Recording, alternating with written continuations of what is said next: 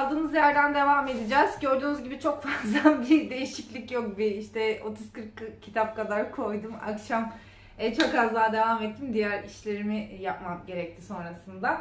E, Bugün daha fazla ilerleme kat etmeyi umut ediyorum. Çok düşündüğünüz kadar ya da benim düşündüğüm kadar hızlı gitmiyor. Çünkü onları alıp koyarken de bir yandan düşünüp, düşünüp yerleştirmeye çalışıyorum. Ama bu işi sevdim. Böyle bir yandan konuşup bir yandan iş yapmayı. Hatta diyorum acaba bundan sonra ne bileyim ben yemek yaparken de hani bir kameraya bir yere koyup bir yandan da size kitap mı anlatsam diye hem daha çok video yüklemiş olurum. Hem de e, ben de evde iş yaparken kendi kendine konuşmayı seven biri olarak en azından kendi kendime daha anlamlı konuşmuş olurum. Şöyle helikopterden çok kitabım yok. İklimlerle Hadrianus'un anıları geldi. Bunları eski videolarımda önermiştim. Valla şöyle hemen bir göstermek istiyorum. Ee, Rebecca Solnit yine son yıllarda en çok e, kitaplarından keyif aldığım düşünürlerden biri. Bana bir kişilik taslayan adamlar Encore'dan çıkmıştı. Encore'da helikopterde çok kitabının olmadığı yayın evlerinden. Onları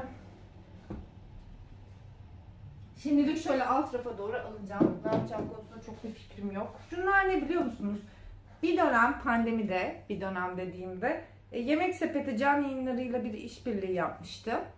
Ve e, 50 lira sipariş verdiğinizde miydi neydi? Yanında bir kitap hediye ediyorlardı. O dönem tabii pandemi olunca çok sık kullandım ben uygulamayı. Ve her seferinde de öyle o kitaplardan aldım aldım birikti. Bunların bir bölümünü çok vardı elimde. Tanıdığım öğrenci arkadaşlarla vesaire paylaştım. Ama biraz da bıraktım elimde. Çünkü böyle bir yere giderken çantaya atmalık yani öyküler var içerisinde güzel oluyor. Lacivert kitaplar serisi yaptılar. Amazon'da bir işbirliğiydi o da. Aslında onun bir versiyonu bu yani çok farklı değil. İşte isimleri değişik.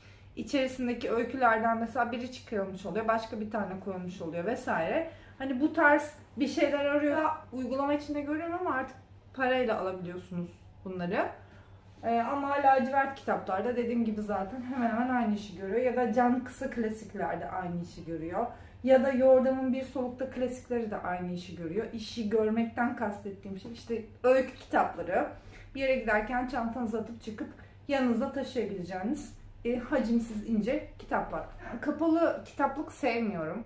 O kafamdaki kitaplık fikrini çok karşılamıyor. Ama bugün sıfırdan bir kitaplık yaptırıyor olsaydım böyle boydan boya ya bu kitaplık. Hani dün anlatmıştım 2 metreden uzun. Böyle yukarıya göre ve dizlere gittiği kadar bu böyle zemine kadar da gidiyor. En altı tamamen parkede bunun. O en alttaki kapa şeyleri, rafları sürgülü bir kapaklı vesaire yaptırırdım muhtemelen. Çünkü oralar çok fazla toz oluyor haliyle tabii yerde olduğu için. Evde bir köpek, bir çocuk, çocuk 5 yaşında, köpek her zaman 5 yaşında. Öyle olduğu zaman tabii ki o tozu vesaire engellemek çok zor. Şimdi dediğim gibi yaptırsaydım öyle bir e, kitaplık tercih ederdim en altlar için. En üstlerde tabii işte inip çıkmak gerekiyor ama çok yapacak bir şey yok. Yani bu kadar çok kitabınız varsa e, başka türlü zaten sığdıramıyorsunuz. Ona o yüzden bugün yaptırsam gene farkı ne yaptırabilirdim bilmiyorum. Yani çok büyük bir odamız olsaydı, kendi evimiz olsaydı ve kocaman kocaman odalarımız olsaydı belki biraz daha böyle yatay yatay ilerletebilirdim ama onu da zaten sığdırmak mümkün değil. Yani evin her tarafı da kitaplık olsun istemiyorum. E, bu taşınma öncesinde biraz kitaplarımı dağıtmamın en büyük sebeplerinden biri de oydu. Çünkü çocuk büyüdükçe ben artık kendim evde kapladığım yerden rahatsız olmaya başladım. Biraz bütün evde çok fazla kitaplarımla birlikte yer kapladığımı hissetmeye başladım. Bu da bir süre sonra bende çok dağınıklık hissi yarattı. Artık böyle hani toplu bir ev düzeni sağlamak o kadar çok kitapla mümkün olmadı. O yüzden biraz dediğim gibi sakinlemeye, ferahlamaya gitmek istedim.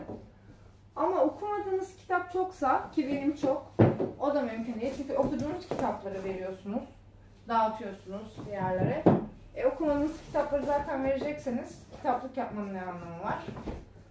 Ama işte bundan sonra biraz daha seçerek alacağımız için zaten mecburen o kendi içerisinde dengesini bulacaktır diye düşünüyorum. Okudukça hafifle hafifle gitmeyi planlıyorum.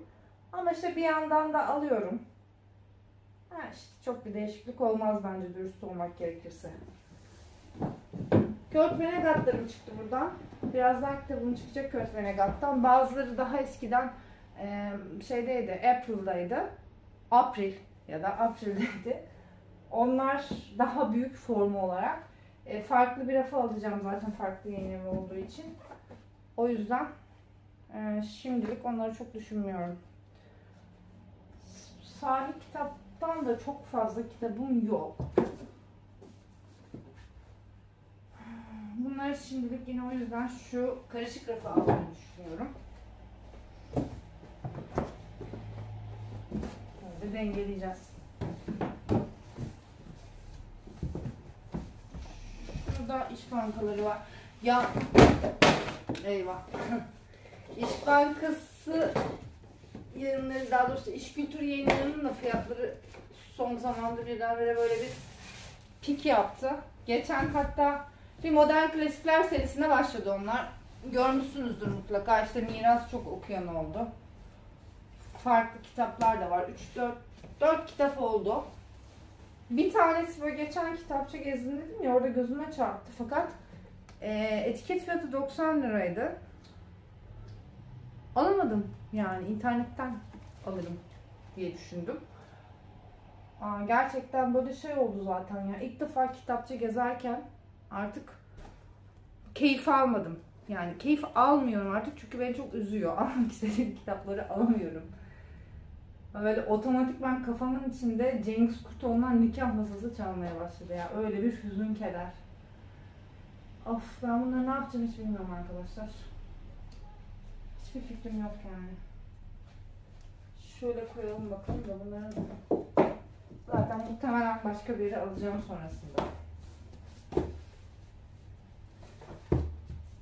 İşler yani herkes için kötü gidiyor aslında. Mesela şimdi Kırmızı Kedi'nin kitapları geldi elime. İpek Sakarya'da kimin kapanmış olduğunu söyledi. Yanlış hatırlamıyorsam Sakarya diye paylaşmıştı. Üstüne ben de paylaştım. CKM'de Caddebostan Kültür Merkezi'ndeki de kapanmış. Kırmızı Kedi'de kitapçı şubelerini kapatmaya başlamış. Ee, zaten Egamba benim bir ara deliler gibi kullandığım ve çok önerdiğim bir internet alışveriş sitesiydi, kitap sitesiydi. Kendi kendilerini bitirmeye karar verdiler. Yani hiç olmayacak işler yaptılar. İşte siparişler gelmedi.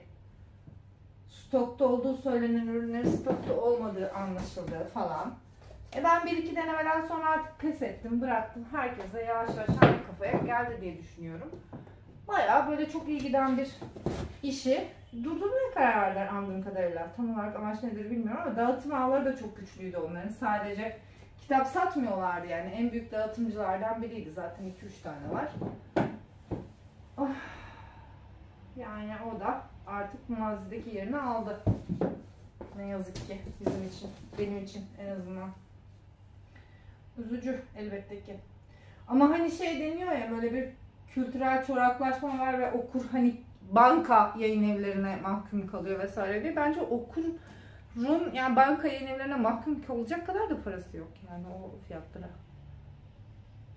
Çünkü zaten biliyorsunuz ki genel olarak her şey çok pahalı.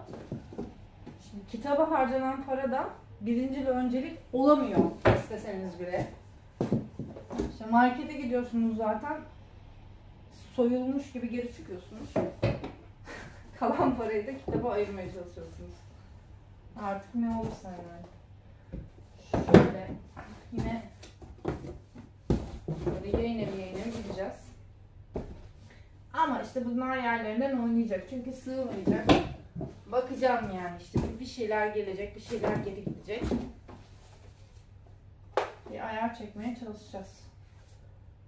Beyaz kapakları şöyle şöyle koyalım. İmgeler buradan çıktı. Şimdi imgeden de var bayağı kitabım da. Ee, eski evde çok dağınık duruyorlardı. Nereden ne çıkacak bilmiyorum. Şeyi demiştim size hani çok belgesel izledim bu aralar. Bu aralar dediğim aslında bir 2-3 aylık zamandan bahsediyorum. Ee, o yüzden de biraz biriktiler.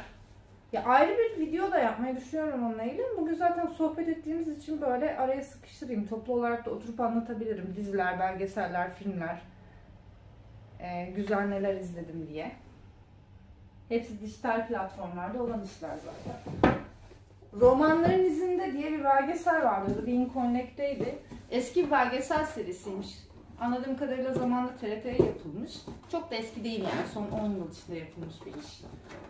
Tanzimattan başlayarak her bölümde bir kitabı ele alıyorlar. Kitabı, işte yazarı hakkında bilgi veriyorlar ve e, akademisyenler de konuşuyor. Kitap hakkında her bölüm içerisinde. Bence çok güzel, bilgilendirici bir belgesel serisi o. Yani internette farklı platformlarda, bir yerlerde malum ortamlardan vesaire bulursanız da e, takip edip izlemenizi öneririm. Çok böyle merak ettiğiniz kitaplar hakkında seçerek de izleyebilirsiniz tabii her bölüm izlemek istemiyorsanız ama ben baştan sona böyle günlere böyle böyle izledim onları. Buradan, ya bunların hepsi zamanında bahsettiğim kitaplardı. Şöyle yabancı, Camus'un, Marquez'in kitabı ve Patrick Süskind'in kitabı. Güvercin. Bunların üçünü de öneririm. Özellikle Süskind'in güvercini böyle o e, psikolojik gerilim türüne yakın havasıyla gerçekten de acayip bir kitaptı. Ay bu, bu çok sevdiğim bir kitap ya. Romancının romanı. Çok. Geldik.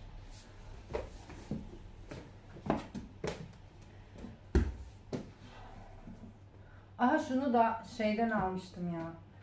Ee, önce 5 lira kampanyası olarak başlamıştı ya hani eskiden DNR'larda canlı DNR yapıyordu. Sonra 7 lira olmuştu. En son işte o 7 lirada finali yaptılar zaten. O zaman almıştım. Bu iki, 1 ve 3'ü hala da o zamandan beri alıp tamamlamadım. Keşke zamanında alsaymışım yani. Ne çok kitap için keşke zamanında alsaymışım diyorum biliyor musunuz? Çok uzun bir zaman hep böyle kendimi yargıladım. Çok kitap alıyorum, okuyamayacağım kadar çok kitap alıyorum vesaire diye. Ama işler tersine döndü. Şimdi diyorum ki iyi ki zamanında almışım. Şimdi olsa alamazmışım. Şimdi sıfırdan böyle bir kitaplık yapamazdım. Ve aslında beni en çok üzen bu oluyor. Yani hani kişisel kitaplığını yapmak isteyen, sıfırdan yapmak isteyen, yani genç bir arkadaş düşünüyorum. Yani ya da yeni yeni okumaya merak salan birini düşünüyorum. Yapamayacak yani. Çok zor. Ama işte beni sadece böyle ufacık bir teselli yani bana ufacık bir teselli sağlayan sadece son zamanda İBB'nin böyle şeylere, kütüphanelere ağırlık vermesi. Ve bunu yaparken de kütüphane oluştururken güncel yayınları takip edip onlara da çok yer vermesi oluyor kütüphane. Ama işte o da sadece İstanbul'da mümkün mesela. Türkiye İstanbul'dan ibaret değil ki. Yani bir sürü insanın buna erişimi yok neticede. Ne kadar büyük bir fark yaratacak o da tartışılır. Şimdi. Büyülü Dağ'ın ikinci cildi buradan çıktı. Yani birinci cildini de gördüm sanki ben az önce. Görmedim mi? Aynen öyle. Ben o Büyülü Dağ'ın da birinci cildini okudum. Sonra ikinciyi okumadım. Üzerinden çok zaman geçti. Yani başları en baştan birinci ciltten okumak istiyorum. Siz oraya sağ. Asla hiçbiriniz hiçbir yere sığmayacaksınız ama işte umut dünyası. Ha işte. Bu da Ayça'nın hediyesiydi bana. Saatler. Eh, Galiba onda baskısı yok. Ya şunun da baskısı yani yok. Göçebenin de mesela ben uzun zamandır bekliyorum. Satürn, Sebahat'ten. Gelmiyor yani. Gelmiyor, gelmiyor. Ya da geldiyse de yakın zamanda ben kaçırdım yani geldiyse bana da söyleyin çok sevinirim. Buraları da hallettik. Wow. Ya bunlar buraya Tabii ki sığmayacak yani. Şunları şöyle üste alalım. Aha bu adam hepimizin, yani bir nesil ömrünü ya. Adam. Yaşam şöyle kötüdür, ölmek böyle güzeldir, şöyle yaşamaktan keyif almıyorum, böyle bıktım deyip 158 yaşına kadar yaşadı bu adam. Bizim ömrümüzü yedi. Kendisi yaşadı da yaşadı. Şöyle.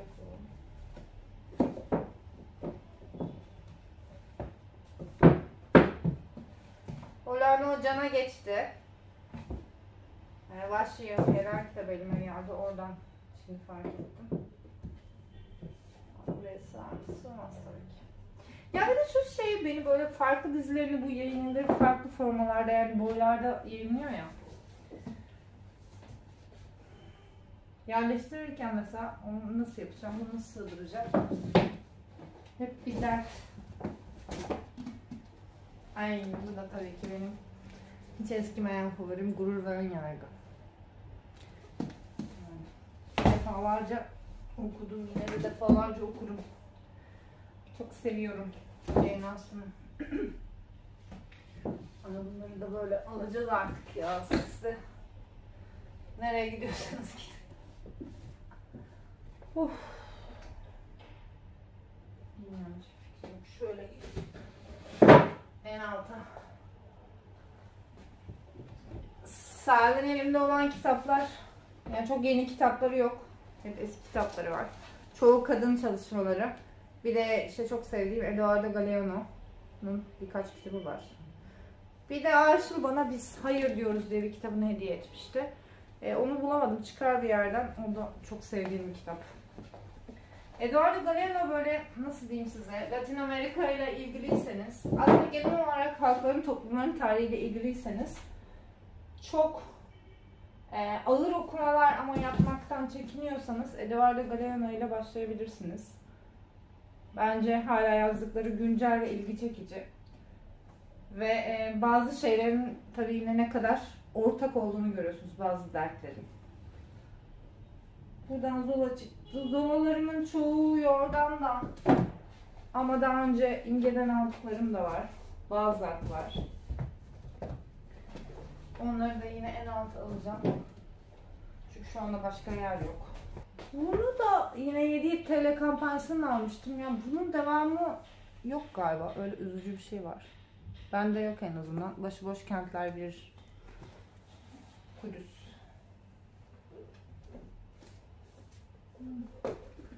Ne çok kitap var ya. Yani ne çok kitap var dediğim aslında yani merak ettiğim çok kitap var.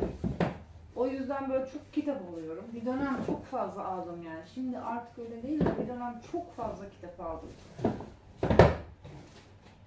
Ya işte bir de zaman ilerledikçe mesela insanın ilgi alanları değişiyor. Ben çok fazla farklı konuda bir şeyleri merak ediyorum.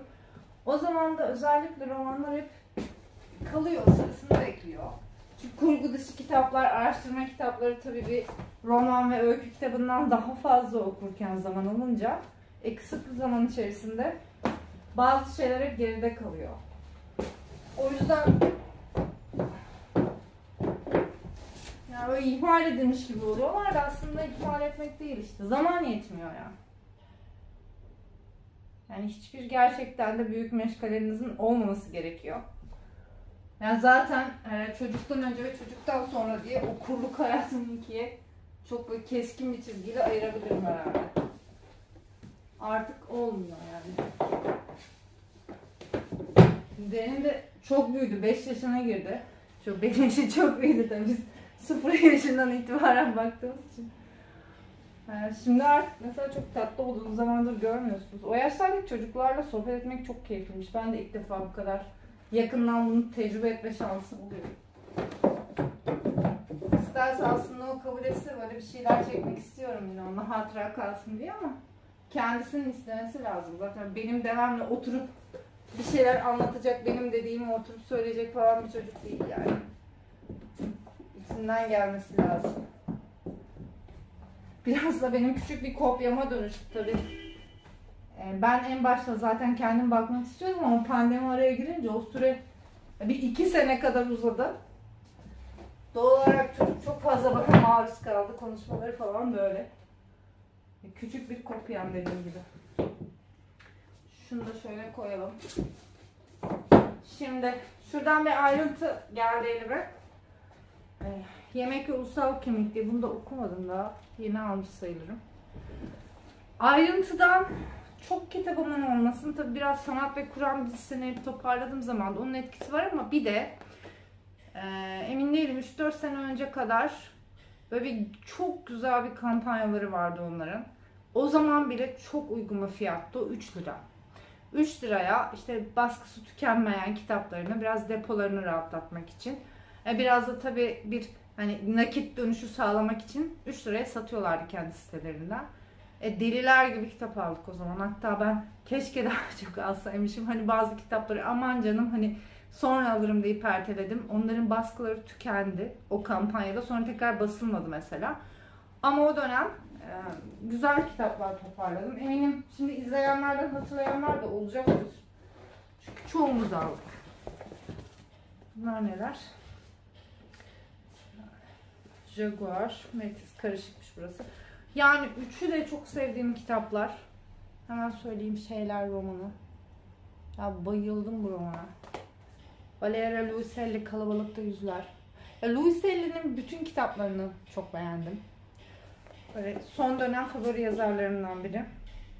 Bu da Rosales. E, Felaket Zedeler Evi. Bunu da çok beğenmiştim. Yani biraz karamsar. Aslında şeyler de öyle. Biraz hani belki çok umut dolu bir roman değil ama Felaket Zedeler Evi e, yaşlı insanların son dönemlerini geçirdiği ve hani bakıma muhtaç, özel ihtiyaçları olan bireylerin yaşadığı bir bakım evini anlattığı için tabii insani olarak daha sarsıcı. Şu önemli. Şimdi ben Thomas Bernhard çok sevdiğim için nereden başlayalım yazarı okumaya diye çok fazla soruldu yıllar içinde. Yani ve hep her şeyi söylüyorum ve fikrim değişmedi. Neden? Bu Thomas Bernhard'ın otomatik beş otomatik beşlemesini, otobiyografik beşlemesinin ilk kitabı. Ee, diğer kitapları da yine Selden çıkıyor ama baskıları bazen oluyor bazen olmuyor. Kesinlikle nedenle başlayın çünkü aslında onun bir derdi var. Aitlik derdi, işte milliyetçilik kavramıyla ilgili derdi, vatan ülke kavramıyla ilgili dertleri. Hepsinin temeli çocukluğundan itibaren anlattığı bu kitapta var zaten. Yani gerisini üzerine inşa ettiği için anlamanız buradan başlarsanız çok kolay olacaktır. Onu söyleyebilirim. Bunları böyle koyduk. Şimdi bu kolinin içinde kalanları e, Adam Yayınları'ndan zamanında benim e, annemin kitapları da onlar. Nazım Hikmet ve Aziz Nesin kitaplarının hepsi bunun içinde. Bunlar artık çok eskidiler. Açık rafta muhafaza etmeyi düşünmüyorum o yüzden. Ayrıca kenara alacağım. Ve e, şey yapacağım yani. Rafa kitaplar koymayacağım. O yüzden böyle alalım onları da. Başka Nabokov'ların üzerine gelecek ama şimdilik bunları böyle alalım.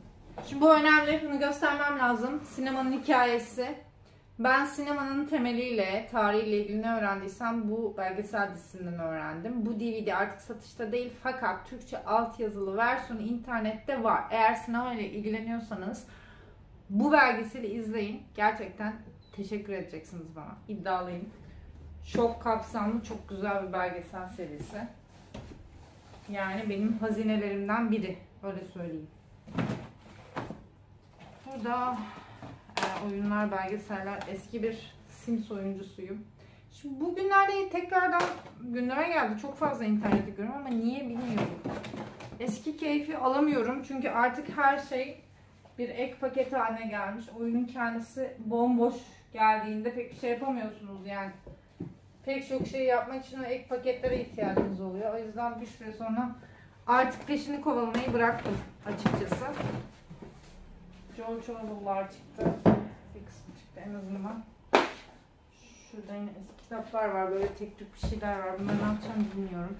Şu seri çok iyidir. Vedat Ozan'ın Kokular kitabı, işte Lezzetler kitabı vesaire de gidiyor o. Bayağı ilginç bir araştırma serisi.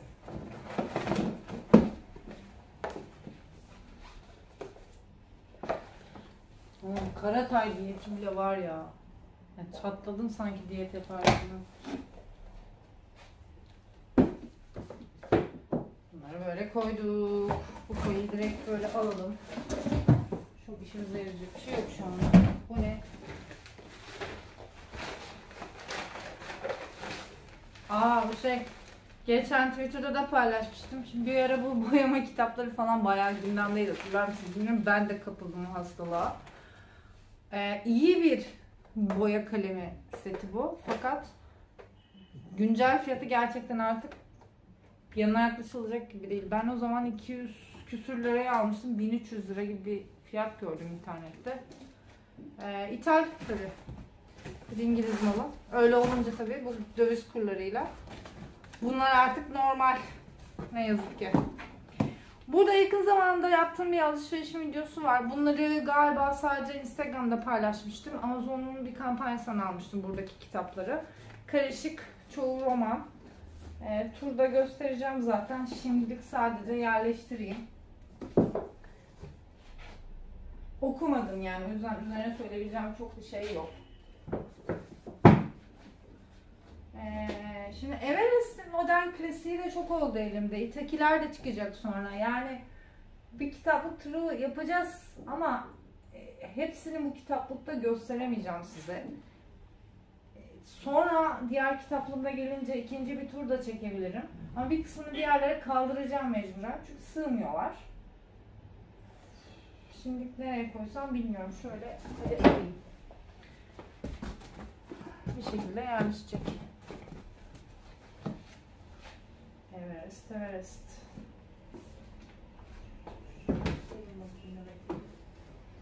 Siz de böyle gelin.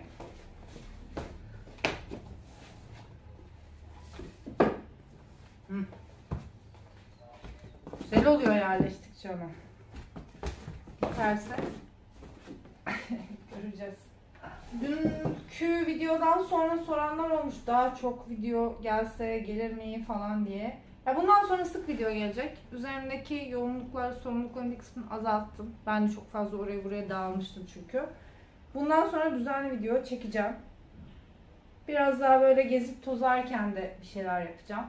Yani gezip tozarken dedim yine ya kitapçı geziyorumdur ya bir şeyler bulmuşumdur bir yerde. İlginçtir, ilgimi çekmiştir. Onları da paylaşacağım. Ve daha fazla kamera karşısında olmak istiyorum. Arayı, açıklığı telafi etmek için. Ah, bunlar buraya sığmaz. Evet. Yine galiba böyle bir yarım saati geçtik gibi. Bu işin de bugün biteceği yok. Ben yavaş yavaş biraz dinlenip ondan sonra e, çıkacağım ve toparlamaya çalışacağım. Görüşmek üzere. Kendinize çok dikkat edin. Yoruldum gerçekten. Göründüğünden daha yorucuymuş. Onu söyleyebilirim. Hem bir de bir yandan da konuşunca tabii soluk soluğa kaldım.